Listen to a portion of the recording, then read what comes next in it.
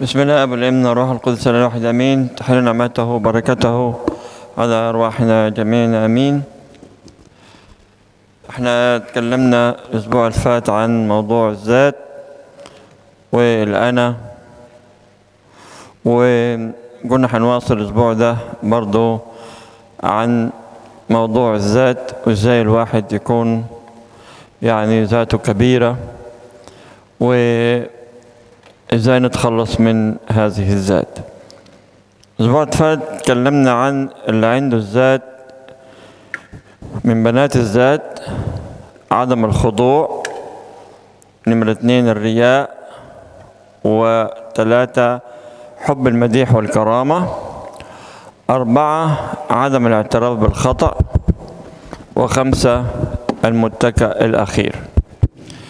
هنواصل النهاردة نشوف إيه من بنات الذات كمان اللي عايز يعرف نفسه إنه ذاته كبير ولا لأ هو نقطة تانية عدم أو التذمر وعدم الرضا. تذمر وعدم الرضا. يعني الإنسان بيكون دايما متذمر ومش بيعجبه أي حاجة.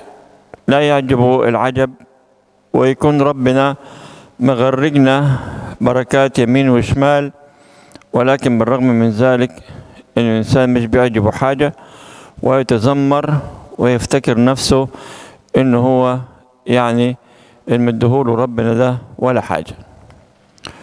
ويمكن شوية تكون في شوية آلام أو تجارب في حياتنا عشان كده إحنا بنتذمر ونقول ليه بيحصل لنا كده. لكن طبعا الإنسان لازم يعرف كويس حتى لو كانت في شوية آلام وتجارب في حياة الواحد ولكن ده مش علينا وإنما ده لينا إحنا. وإنت هتعرف قدام شوية إنه الآلام والتجارب اللي بتجيك دي ليك مش عليك. وإذا ما عرفت هنا على الأرض أكيد يعني ربنا كمان هيكشفها لك وإنت في السماء. ولكن الواحد دايما يتذمر ويأفئف ويقول يعني ليه بيحصل لنا كده؟ ومش بيشكر ربنا خالص. ويعتقد إنه هو اللي بيديهوله ربنا ده ما يكفيش وإنه بيستاهل أكتر من كده كتير. كل ده طبعا عدم رضا عدم شكر كل ده ذات وأنا. بيفتكر إنه هو ربنا ظالمه. لكن الواحد لو جا قاس نفسه وشاف هو بيستاهل إيه يعني لو قسنا نفسنا على خطايانا نعتقد بإنه إحنا نستاهل نار جهنم صراحة. مش نستاهل الخير اللي بيديهولنا ربنا وبنعترض عليه. ده إحنا لو اكتشفنا خطايانا إحنا نشكر ربنا ونقول له رب كتر خيرك ألف كتر خيرك على اللي بتديهولنا ولكن إحنا بصراحة نستاهل نار جهنم من خطايانا اللي إحنا بنعملها. الواحد لو بس شاف رضا ربنا عليه أو عطايا ربنا عليه ده حتى الواحد يشكر ربنا عن النفس اللي داخل وطالع فيه. لأنه في ناس حتى ما عندهمش النفس الطالع ده. لأنه واحد يقول لك هو يعني ربنا مديني إيه يعني؟ إيه ربنا مدهوني هو ربنا عامل معايا إيه؟ كل الخير اللي عامله معاك ربنا ده مش مديك حاجة؟ ولكن الواحد بيفتكر إنه ربنا مش مديله حاجة وده ذات وإيه؟ وعدم رضا وتكبر ومعتقد إنه مفروض ربنا يديله أكتر من كده. الكتاب بيقول يا أحبائي لا تتذمروا كما تذمر أناس منهم فأهلكهم المهلك. ده كان بيتكلم على اليهود. اليهود طبعا بعد ما كان ربنا مغربهم مغرقهم خير وعدى بهم البحر الأحمر وطلعهم بيد قوية من من يد فرعون. ولكن بعد كده برضه قعدوا يتذمروا. وقالوا إحنا عايزين نرجع مصر وإنت جبتنا في الصحراء هنا يا موسى عشان تموتنا وإحنا مشتاقين للكرات والبصل في حد يتوحم لبصل ولكن هم كانوا دايما إيه مش بيشكروا خالص. كانوا يتذمروا بالرغم انه فرعون كان ذليهم ولكن برضو كانوا يتذمروا. وفي مرة قالوا لموسى إحنا عايزين لحمة لحمة في الصحراء. فقام قال له أنا أجيب لكم لحمة منين من الصحراء يعني؟ هو ربنا كان بيديهم الإيه المن والسلوى ده.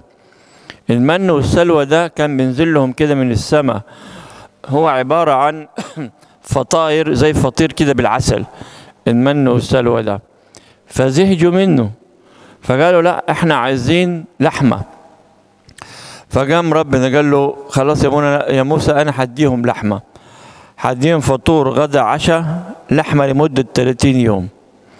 حتى موسى قال له يعني كده بيهزر مع ربنا يقول له يعني انت هتذبح لهم آه، آه، آه، لحم الدنيا ده كله حيوانات الدنيا.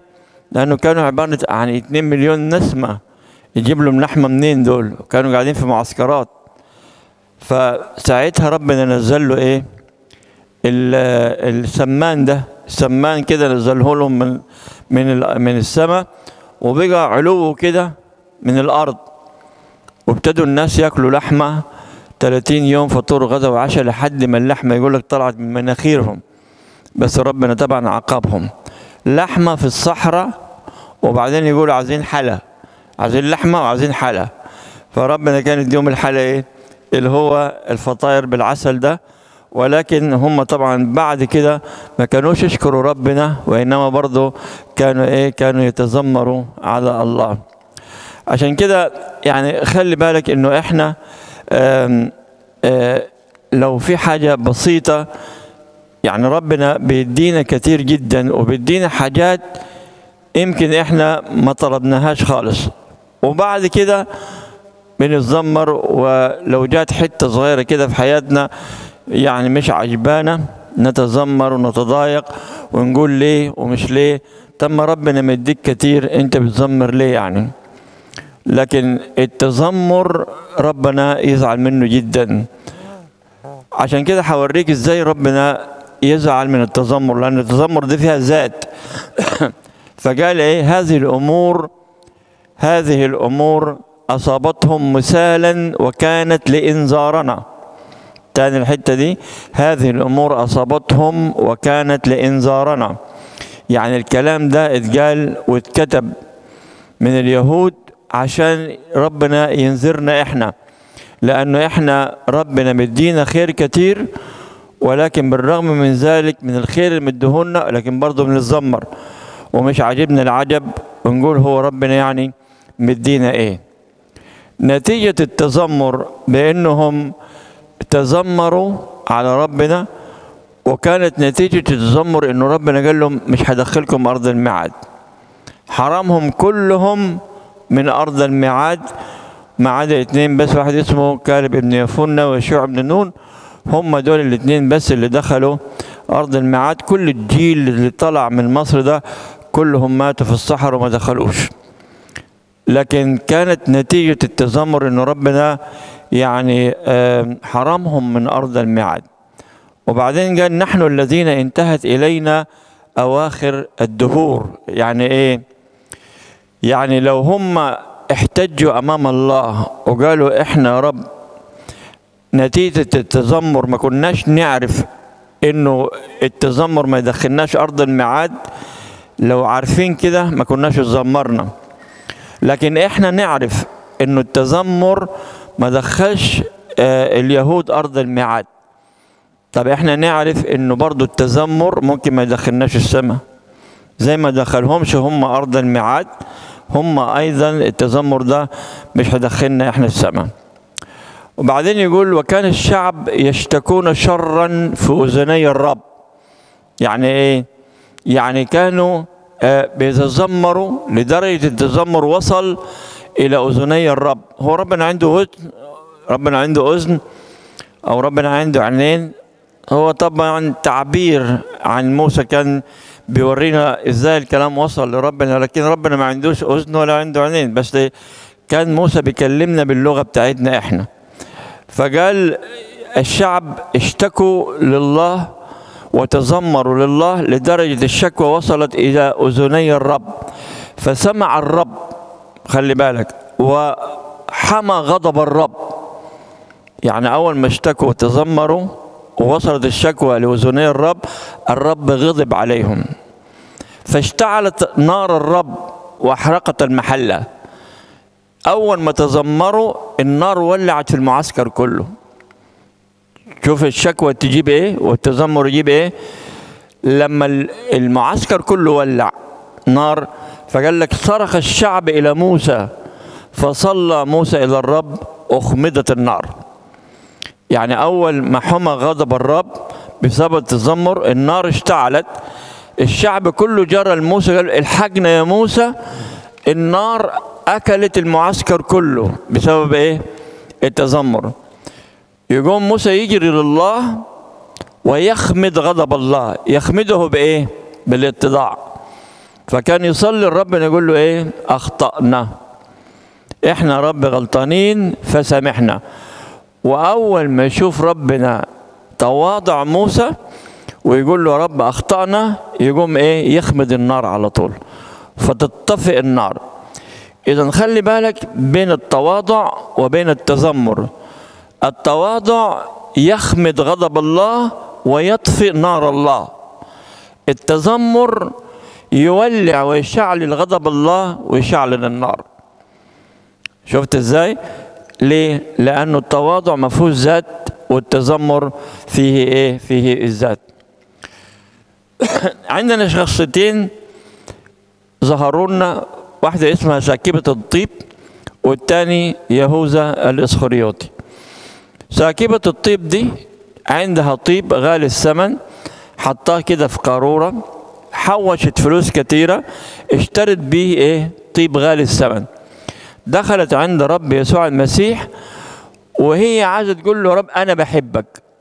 ولا اتكلمت ولا جت أي كلمة. لكن تعبيرها عن أنا بحبك جابت القارورة وصبتها إيه؟ على رأسه.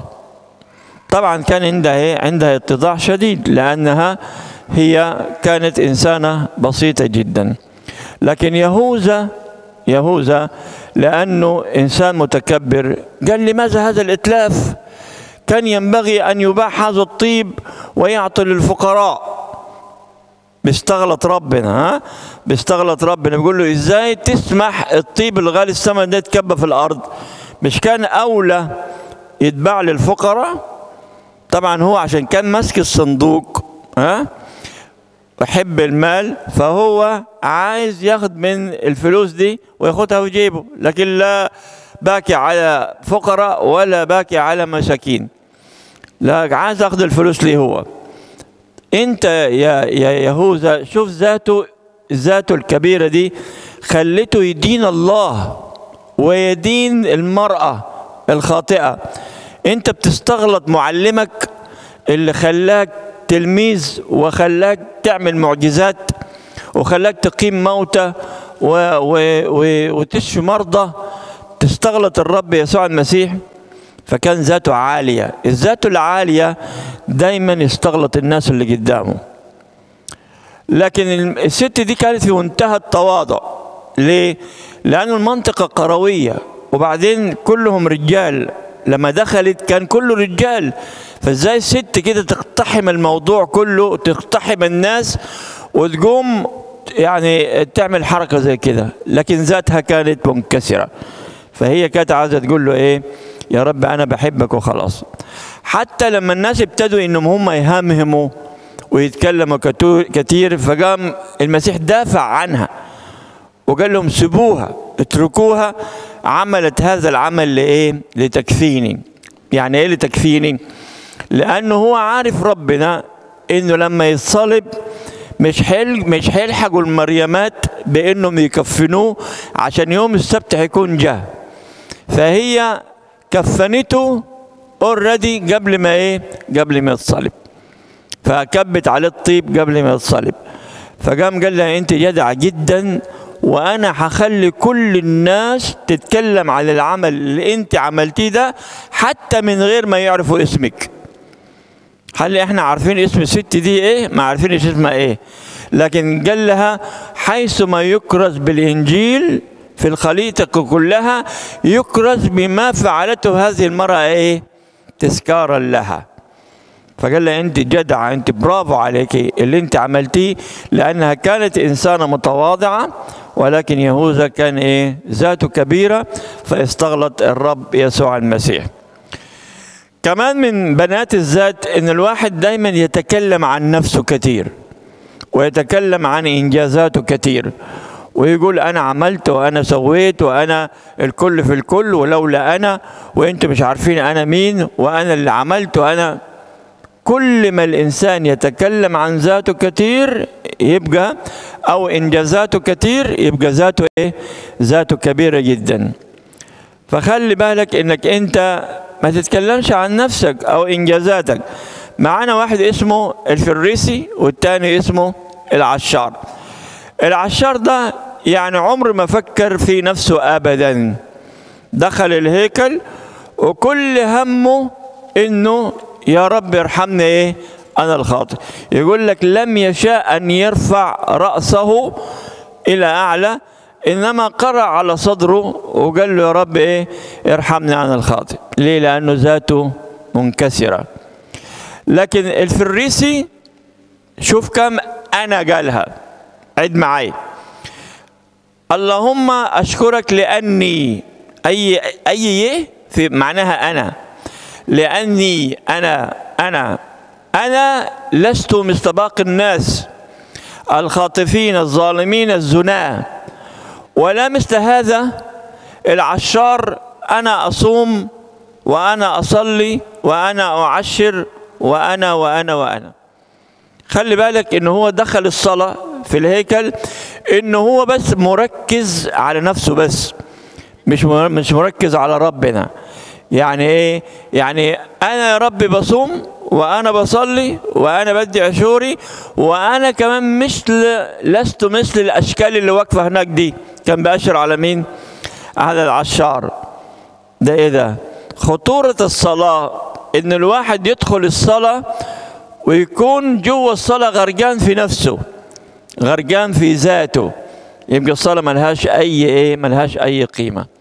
لما تركز على نفسك أنت قاعد مع ربنا ركز مع ربنا. بتركز على ذاتك ليه؟ وقاعد جوه الصلاة بيدين في الناس. أنت في الصلاة بتدين في الناس معناتها ذاتك إيه؟ ذاتك أيضا كبيرة. أنت مالك ومال الناس. عشان كده خلي بالك حتى الإنسان وهو بيصلي في الكنيسة يركز على ذاته. يقول لك أيوه أنا دلوقتي هركع آه دلوقتي الناس هتشوفني أنا بركع إزاي؟ ها يا سلام أنا النهارده بركع. بعد شوية يرفع يده كده. آه ده الناس شايفاني أنا رافع يدي. يا س... وإيه؟ وكل همه إنه الناس شايفاه إزاي بيصلي. مركز إيه؟ مركز على ذاته. ضاعت الصلاة منك خلاص. حتى الإنسان هو بيقرأ في الأجبية بعدين يلقى نفسه بيقول المزامير من غير ما يقرأ. يقول الله ده أنا بقيت أحفظ المزامير من غير ما أقراها. برافو عليك يا واد. بقيت تحفظ المزامير. ويدخل في ذاته ويدخل في الأنا بتاعته. إنما العشار ما كانش عنده الذات أبدا. إنما كل كل تركيزه أنا رب خاطئ. اللهم ارحمني أنا الخاطئ. إذا اليوم في كم ساعة؟ اليوم في 24 ساعة. لو فتحنا دماغك دي وقلنا لك يا ترى ال 24 ساعة دي كم ساعة مركز فيها على ذاتك ونفسك وبتفكر في نفسك وكم ساعة مركز فيها على ربنا وعلى الناس؟ هتلاقي 23 ساعة ونص انت مركز فيها على ذاتك. ده انت حتى ونايم بتفكر في نفسك وبتقول أنا وأنا وأنا. النص ساعة من ال 24 ساعة دي يمكن يمكن تركز فيها على ربنا أو على الناس. الست العذراء مريم أكتر إنسانة ما كانتش تركز في نفسها أبدا لأنها لما مشت عند اليصابات تمدحها اليصابات وتقول لها منين تجيني أم ربي؟ خبر أبيض ده أم الرب تجيني أنا؟ فهي طبعا حولت هذا التمجيد منها إلى الله. طوالي قالت التسبيحة بتاعتها تعظم نفس الرب وتبتهج روحي بالله مخلصي. ده كله من فضل ربنا يعني. النهارده انت لو ابنك دكتور وواحد قال لك أهلا يا أم الدكتور انت بقى إيه تتنفخي وتطرشقي لأنه ابنك دكتور مش كده؟ لكن العذراء مريم عمرها ما فكرت في نفسها ابدا. إنما حتى تفكر في اليصابات العجوزة لما سمعت إنها حامل. تركب الجبال عشان تخدمها. طب ما تفكري في نفسك ما أنت حامل برضه ما أنت عيلة صغيرة برضه عايز حد اللي يخدمك. ولكن لا تفكر في نفسها تفكر في الست العجوزة. وبعد ما اليصابات تولد وغالبا شالت يوحنا المعمدان على كتفها العذراء مريم استأذنت من الإصابات وقالت لها معلش أنا همشي عشان ورايا راجل عجوز اسمه يوسف برضه عايز أخدمه. طب ما تفكري في نفسك يا عذراء هي عمرها ما تفكر في نفسها ابدا. عشان كده يمكن إحنا أغلبنا آباء وأمهات لما بنطلع من نفسنا كتير ولكن بنفكر فين؟ في أولادنا. ودي حاجة كويسة. إن الواحد يطلع من نفسه ويفكر في أولاده. دي حاجة كويسة. بس المشكلة إيه؟ كمان لو طلعت من تفكيرك على أولادك ووسعتها شوية تفكر كمان في أولاد الناس. تفكر في أولاد الملاجئ تفكر في الاولاد المساكين. دي حاجة كويسة إنك تفكر في أولاد الناس الايه التانيين. الزوجة الصالحة دايما ما تفكرش في نفسها تفكر في زوجها. إزاي تريحه؟ وإزاي ترضيه؟ وإزاي تعمل كل ما إيه؟ ما في نفسه. دي الزوجة الصالحة. تطلع من نفسها خالص وتفكر في زوجها كيف ترضي زوجها وكيف ترضي أولادها. فالزوجة الصالحة زي إيه؟ زي الشمعة كده اللي بتحترق عشان تخدم زوجها وتخدم أولادها لكن عمرها ما تفكر في نفسها أبدا. لكن بعض الأمهات بعضهم مش كلهم دايما يفكر في نفسهم. أنتوا مش شايفيني بعمل إيه؟ أنا تعبانة. أنتوا ما عندكمش حس أنتوا ما عندكمش زوج وبعدين هي وبتطبخ ست يعني. متوقعة انه زوجها يجي من بره ويقول لها الله إيه الأكل الحلو ده؟ ويدوق كده تسلم إيديكي. بس أنتوا طبعا الرجال بتاكلوا عاملين زي البتاع كده ومش حتى مش بتقولوا شكرا ولا ولا بتذوقوا حاجة بتاكلوا كده وخلاص مش كده؟ لكن الست بتكون إيه؟ مفروسة ومكبوسة إنه إزاي ما قالهاش أكلك حلو. ليه؟ لأن هي بتفكر في نفسها، لكن أنتوا لما بتاكلوا كده من غير ما ما تشكر ولا تقول الله أكلكم حلو بتكبسوا الستات، فقولوا حاجة يبقى قولوا. قولوا الله أكلك حلو تسلم إيديكي مش عارف إيه الكلام الحلو ده عشان الست إيه بتحب الكلام الحلو ده. لكن هي إذا ما ما قلتوش أنتوا الكلام الحلو ده هي تولع وتغلب الدنيا وتخرب الدنيا. مش كده؟ وبعدين تقول لك أنا بحبك بتحبي إيه؟ ده أنت تحبي نفسك. لأنك أنت عايزاه يقول حاجة وهو مش بيقول حاجة. فالست الست اللي هي يعني اللي بتطلع من ذاتها تفكر كيف ترضي رجلها وترضي أولادها. المثل اللي قاله الرب يسوع المسيح عن الغني الغبي. تعال نشوف الغني ده قال يا نفسي كم مرة. عيد معايا. كويس؟ اتفقنا كل ما فيه معناها أنا. مش كده؟ يقول إنسان أخصبت كورته وفكر في إيه؟ في نفسه. شوف الراجل ده فكر في نفسه كم مرة. قال إيه؟ قال ماذا أعمل؟ كل خطوتين كل كل قوسين يعني خد نفسي. ماذا أعمل يا نفسي؟ ليس لي موضع أن أجمع فيه أسماري. أسماري أنا. أهدم مخازني أنا. وأبني أنا. أعظم منها. وأجمع غلاتي أنا. وخيراتي أنا.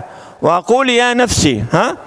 وتاني كررها يا نفسي لك خيرات كثيرة موضوعة لسنين عديدة. استريحي يا نفسي كلي يا نفسي اشربي يا نفسي افرحي يا نفسي. ربنا قال له يا غبي. على طول كده. طوالي أول ما قال يا نفسي يا نفسي يا نفسي ومش بيسكت خالص. على طول ربنا قال له إيه؟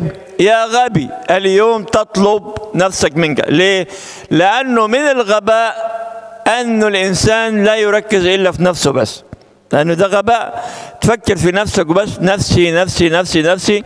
وهو قال له نفسك اللي عمال تطبطب فيها دي وتدلع فيها وتهشك فيها النهارده هتشرف عندنا في السماء. ورينا هتعمل إيه؟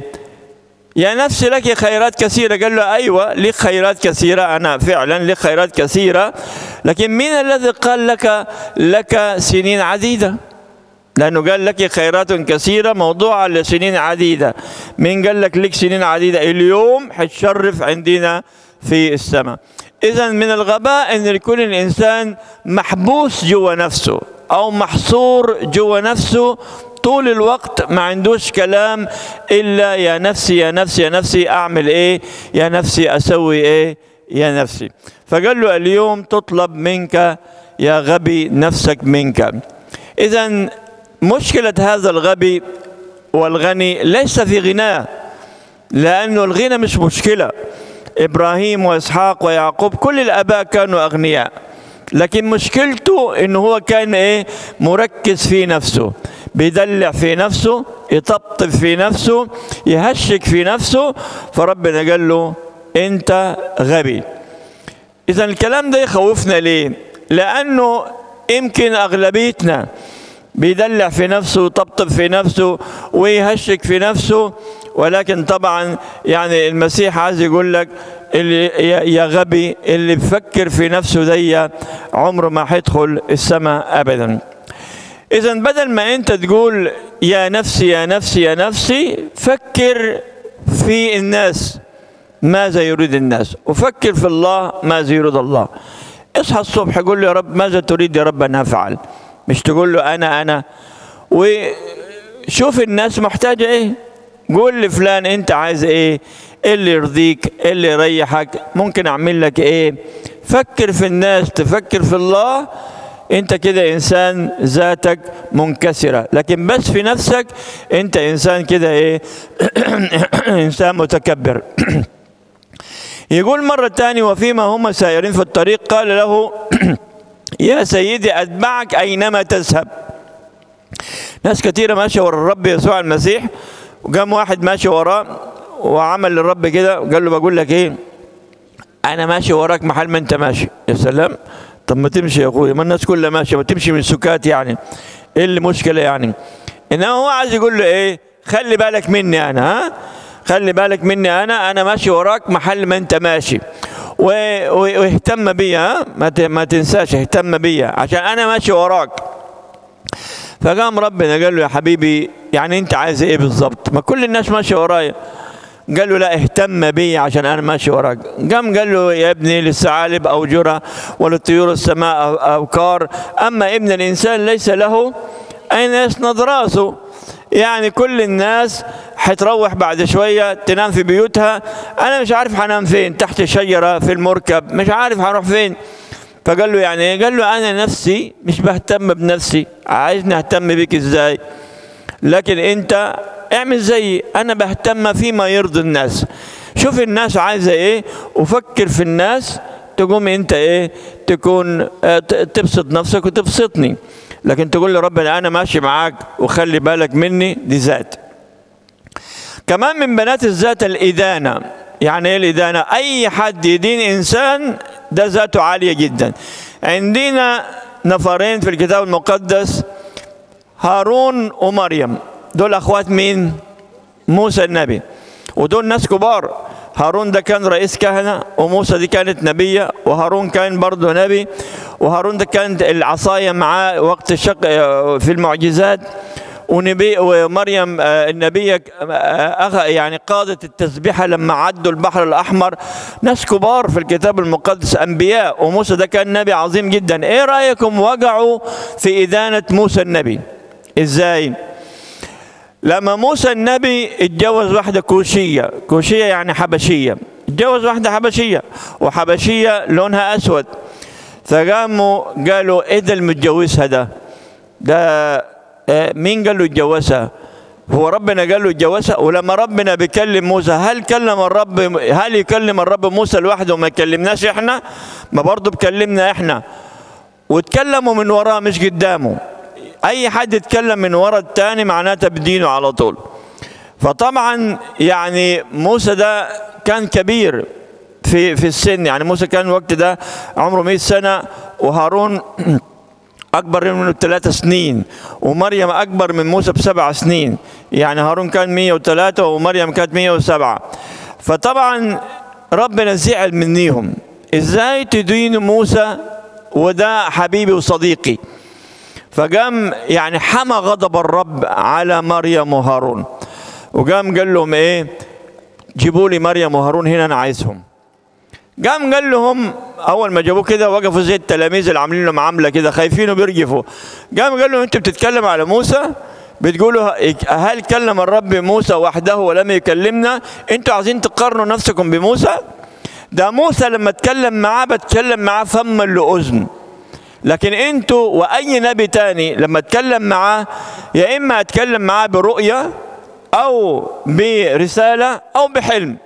لكن موسى ده بالذات أنا بتكلم معاه من فم لاذنه تقارنوا زيكم نفسكم بنفسه إزاي. وبعدين طبعا يعني هم ما عتبوش موسى إنه زوج الكوشية إزاي. هو طبعا ربنا قال له اتجوز المرأة الكوشية لأنها كانت رمزا للأمم لأن الأمم البشرية السوداء قبلة المسيح في الآخر الأمم دي. وموسى تزوج المرأة الكوشية على آخر أيامه. فهي كانت رمزا لقبول الرب إلى الأمم. لو سألوه كان هيقول لهم ربنا قال لي كده عشان رمز للأمم لكن اتكلموا من وراه. فقام طوالي ربنا غضب عليهم وضرب على طول مريم بالبرص. طوالي بالبرص وصارت برصاء ونجسة وعزلوها. طبعا يعني موسى خاف آه هارون خاف إنه برضه هو يتضرب بالبرص. طبعا ربنا ما ضربش هارون بالبرص ليه؟ لأنه لو اتضرب بالبرص كان اتعزل من الشعب زي مريم ولو اتعزل من الشعب كانت العبادة وقفت لأنه هو رئيس كهنة. وبعدين مشى جرى هارون على موسى وقال له الحقني أحسن اتضرب بالبرص. فقام موسى قال له ما تخافش أنا هتصرف فراح موسى ربنا قال له معلش يا رب عشان خاطري أنا اعفي عنهم. قال لهم لا أنا زعلان منيهم. إزاي يدينوك؟ وإزاي يتكلموا عليك؟ وإزاي يعملوا كده؟ قال له معلش يا رب عشان خاطري أنا. فقام قال له خلاص خلي مريم تكون معزولة لمدة أسبوع برصاء وبعدين ترجع تاني للمحلة تاني. لكن شوف غضب ربنا كان عليهم إزاي؟ لأنهم أدانوا أكبر نبي عظيم في إيه؟ في آه العهد القديم. وقالوا إيه؟ إزاي يعمل كده؟ ده ده دي يعني دي جت في وشنا. وإزاي يتجوز واحدة سودة؟ يعني إيه ما يتجوز واحدة سودة؟ أستغرب أنا لما مثلا واحد يجيب واحدة سودة ويتجوزها وكل الناس تتكلم عليه. ما يتجوز واحدة سودة اللي السودة مالها يعني. ما ممكن واحد يكون شكله أسود لكن قلبه أبيض. ولا واحد ولا واحد يتجوز له سودة ولا سودة تتجوز واحد أبيض. وكل الناس تقعد تتكلم إزاي ماشي مع واحد أسود وإزاي هتتجوز واحد ماله الأسود؟ ماله. ما هو بشرية زينا وقلبهم أبيض ونقي وأحسن ناس في الدنيا. وادينوا الناس ليه؟ هو أنتوا شفتوا النهارده لما مريم ادانت إزاي يتجوز واحدة سودة؟ ربنا ضربها بالبرص. أوعوا واحد فيكم يتكلم عن واحدة اتجوزت لها واحد أسود ولا واحد اتجوز له واحد واحدة سودة. أوعوا حد يتكلم على كده. على طول ربنا يغضب ويشعل غضبه علينا على طول. دي بشرية ربنا خالقها دول قلوبهم بيضة. دول أحسن منينا ليه نتكلم عليهم؟ عشان كده يعني آآ آآ ربنا ضربها إيه؟ ضربها بالبرص عشان تاني ما تقولش الكلام ده. آدم وحواء. آدم وحواء طبعا ربنا قال لآدم ما تاكلش من الشجرة. وبعدين قام إيه؟ أكل من الشجرة. قام ربنا سأله يا آدم أكلت من الشجرة؟ مفروض الإجابة إيه؟ نعم إجابة بسيطة. لكن هو رمى الغلط على مين؟ على حواء ليه؟ أنا أنا بيرفكت أنا ماليش دعوة. وبعدين غلط آدم. المرأة التي أنت أعطيت مش أنا أنت السبب. الست اللي اديتهاني هي اللي خلتني آكل. طب أنت قبل شوية بتقول دي حتة مني. لحم من لحمي وعظم من عظامي دي رجولة منك يعني؟ دلوقتي عشان تقول هي اللي ادتني عايز تطلع منها كده يعني زي الشعر من العجين. طب ما تقول أنا. أيوه أنا أكلت أنا غلطان. إيه المشكلة؟ إنما هو ذاته. لما يرمي الغلط على الآخرين ده ذاته كبيرة جدا. وإنت حواء أكلتي؟ برضه ما تقولش أنا. أيوه أكلت. ما تقولي أنا. لا الحواء الحية. الحية هي التي إيه؟ أعطتني. لما يسألك ربنا سؤال بص أنا هسألك سؤال وجاوب. لماذا تنظر القذى التي في عين أخيك ولا تنظر الخشبه التي في عينك؟ الإجابة إيه؟ ها؟ أه؟ الاجابه إيه؟ أنا أنا أنا شايف نفسي أحسن منه. عشان كده ببص له بطلع الغلط منه هو. لماذا تنظر القذى التي في عين أخوك الحاجة الصغيرة؟ ما تبصش الخشبه اللي في عينك. عشان أنا أنا ذاتي كبيرة. أنا شايف نفسي إنه أنا أحسن منه هو. عشان كده ببص له هو إنه أوحش مني. المرأة الخاطئة جابوها عشان يمسكوها في ذات الفعل. وبعدين قالوا على حسب الشريعة لازم هذه إيه؟ ترجم. فقام ربنا قال لهم ترجم إزاي؟ هي زانية أيوه. طب ما أنتوا زانيين بالعين وأنتوا زانيين بالفكر وأنتوا زانيين بحاجات تانية كتير. اللي منكم بلا خطية إيه؟ فارميها بحجر. ووقف كده بينها وبينهم وقال لهم الجدع فيكم يرميهم بحجر. وقاعد يكتب في الأرض. بيكتب إيه؟ بيكتب خطايا الناس. لو واحد بس كان جدع ورماها بحجر كان وراه هو بيعمل إيه؟ بس كل كشة كل رمى الحجارة إيه؟ وفكيك على الجري. ليه؟ لأنه لو رميناه بحجر ربنا هيورينا خطايانا. كل واحد يشوف خطيته. ما ترميش حد بحجر. انت برضو يعني اللي بيته من جزاز ما يرميش الناس بإيه؟ بالطوب مش كده؟ اللي منكم بلا خطية فارميها بأول حجر. من بنات الذات أيضا القلب القاسي.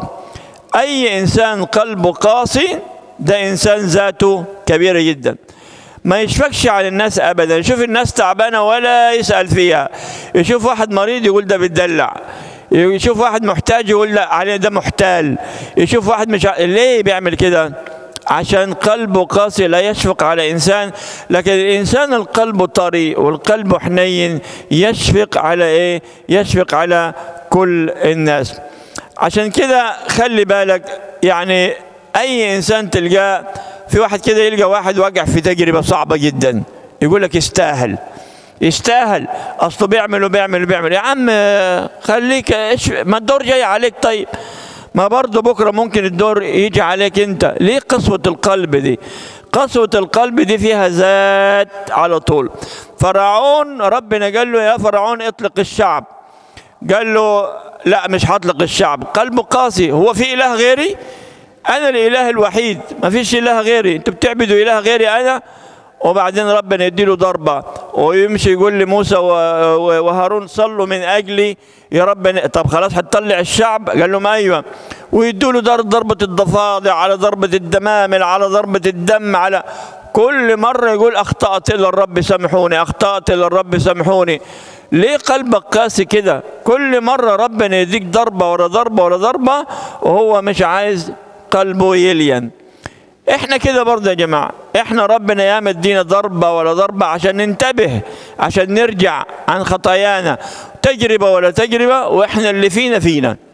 وشوية كده أول ما تيجي تجربة صعبة معلش يا رب إيه عديها يا رب المرة دي. إيه مش هنعمل تاني كده يا رب. ويرفع الرب التجربة ونرجع تاني. كأنه ما عملناش حاجة. ليه؟ القلب قاسي. زي فرعون لما اتضرب عشر ضربات وبعدين ربنا قال له أنت أصلك ما فيكش فايدة وهلك فرعون في ومات وقتلوه.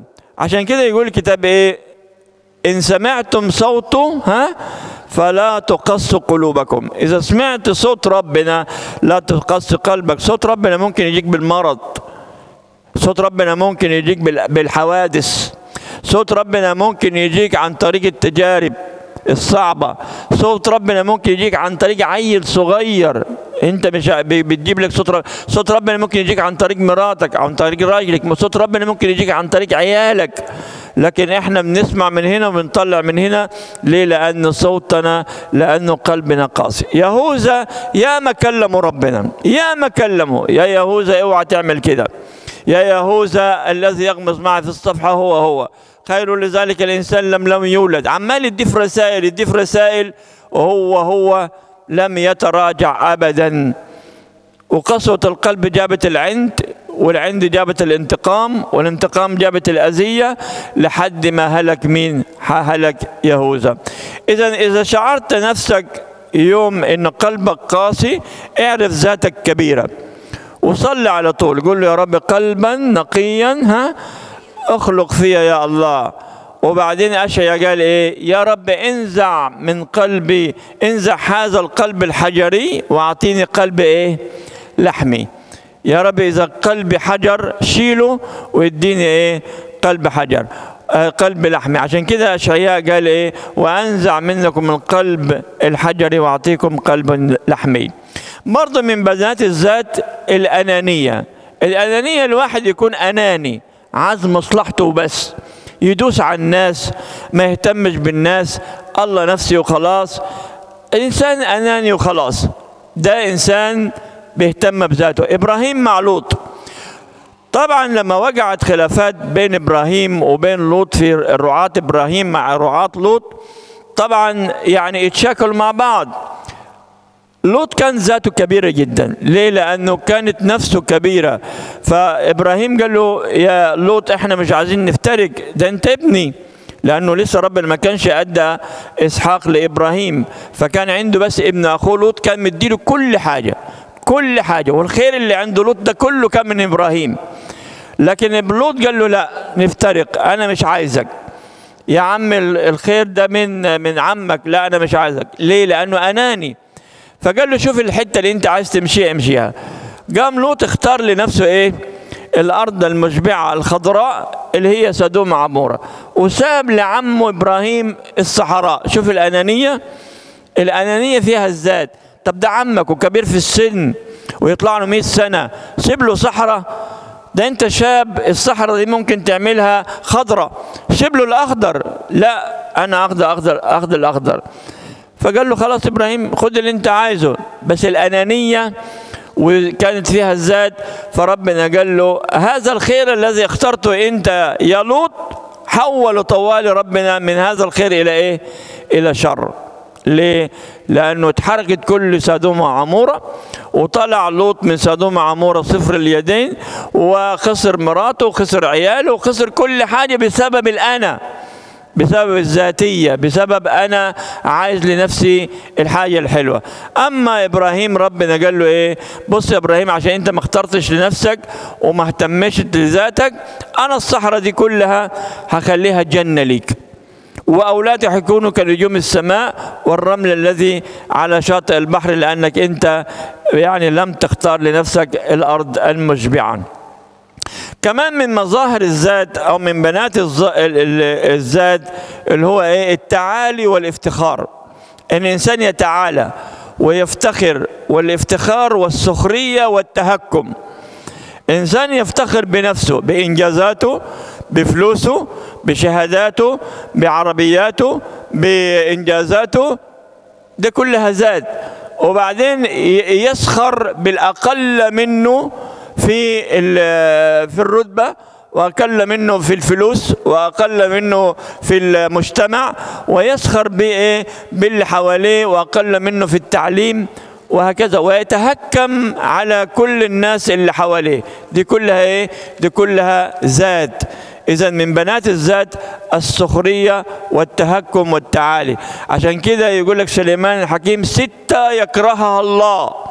رص ست حاجات كده وبعدين قال أولها عيون متعالية أكثر حاجة يكرهها ربنا العين المتعالية العين المتكبرة العين التي تتهكم على الناس وتسخر بالناس والعين التي هي إيه؟ شايفة نفسها هي ما فيش أحسن منيها. دي كلها ذات وربنا يكرهها. كمان من بنات الذات اللي هو إيه؟ الغيرة والتحزب. الواحد يغير من الناس والواحد يستخسر في الناس اللي في يد الناس. يقول له إيه ده؟ ده جاب العربية دي منين؟ دي خسارة فيه. ده جاب البيت ده منين؟ ده جاب مش عارف دي منين. ده ده الحاجة اللي في يده الحاجة دي المفروض تكون عندي أنا. ليه ما عنديش أنا؟ يا عم إيه؟ يا عم بالراحة. ما أنت ربنا برضه مديك وبرضه ربنا مديك خير. اتمنى الخير للغير. ليه أنت يعني بتغير من الناس وتقول يا ريت الخير اللي عند فلان يكون عندي أنا؟ طيب ما أنت برضو ربنا إيه؟ ربنا ميديك عشان كده شاول مع داود. شاول ده كان في الأول كان رجل يعني تقي جدا واختاروا ربنا أول ملك على بني إسرائيل. لأنه كان متواضع ولما جوا يعملوه ملك استخبى من الناس واستخبى وراء الأمتعة والكراكيب وجابوه بالعافية عشان يعملوه ملك من تواضعه. وكان يسمع الشتيمة بودانه. أشاول بين الأنبياء معقول حتة فلاح ده يبقى نبي وكان يسكت وما يتكلمش ابدا. ولكن طبعا أول ما قعد على الكرسي خلاص اتغير خالص خالص. وغار من داود لأنه قالوا على داود إنه قتل ربوات وشاول قتل ألوف وإزاي يقولوا عليه كده؟ وغار منه يا عمي داود ده يعني في سن ابنك. وداود ده يعني اللي خلصك من يد جوليات الجبار وجوليات ده كان كل يوم بيشتمك وكان بيهزئك وداود ده رئيس جيشك وداود ده أنت اللي جوزته بنتك لا أنا إزاي يقولوا فيا كده؟ إزاي يقولوا هو قتل ربوات؟ طبعا الربوة عشر ألف وأنا قتلت ألوف أنا لازم أموته يعني ما أموته. ليه؟ دي كلها ذات دي كلها أنا. إزاي هو يمدحوه وأنا لأ؟ وساب كل حاجة في المملكة. كل لا ينام ولا يأكل ولا يشرب كل تفكيره إزاي أموت داود دي حتى في الحرب مع الأعداء ما كانش يجيب خبر. بس جاري ورا داود وخلاص. لحد ما طبعا الغيرة قتلته ومات في الآخر. كمان من بنات الذات عدم التسامح وعدم النسيان. واحد يقول لك أنا يعني آه مش مسامح. أو واحد تاني يقول لك أنا مسامح لكن مش قادر أنسى. مش بتقولوا كده في الاعترافات؟ يقول لك أنا مسامح لكن مش قادر أنسى. بص أنت مسامح دي معناها نص الذات اتكسرت. لكن أنت مش قادر تنسى ده نص الذات موجود التاني عندك. فخلي بالك مش قادر تنسى معناتها ذاتك لسه باقية عندك. ما تعمل زي أبوك اللي في السماء المسيح. يقول لا أعود أن اذكر خطاياكم إيه؟ أرميها في بحر النسيان. ربنا بيغفر لك وربنا في نفس الوقت إيه؟ بينسالك اغفر وانسى. كان زمان في واحد اسمه لامك. لامك ده كان عنده ستات كده يعني متجوزهم. كان يقول لهم إيه؟ أنا قتلت رجل لجرحي وفتى لشتخي. يعني إيه؟ يعني أنا اللي يعمل لي كده أخلص عليه. كان بخوف مراتاته يعني. كان مخوفهم يعني. بس كده اللي يفتح بوزه. شوف أنا أعمل له إيه. وبعدين طبعا قال أنا زي جدي قايين. طبعا واضح من جده قايين اللي قتل هابيل يعني ها؟ أنا زي جد قايين. إذا ربنا قال لقايين أنا اللي يلمسك أنتقم له سبع مرات أنا اللي يلمسني أنتقم أنتقم لنفسي 77 مرة. شوف ال ال الذات عدم التسامح وعدم النسيان. يقال الآباء دي الحتة اللي قالها بطرس لربنا هل أغفر لأخويا سبع مرات؟ إنما ربنا قال له لا أقول لك إلى سبع إنما إيه؟ سبعه في السبعين جات من حتة لامك دي. إنه إنه قال إنه اللي ينتقم أنا أنتقم أنتقم لنفسي 77 مرة. سامح وإنسى لأنه طول ما أنت مش بتسامح ومش بتنسى يبقى ذاتك كبيره عندك والذات كبيره عنده.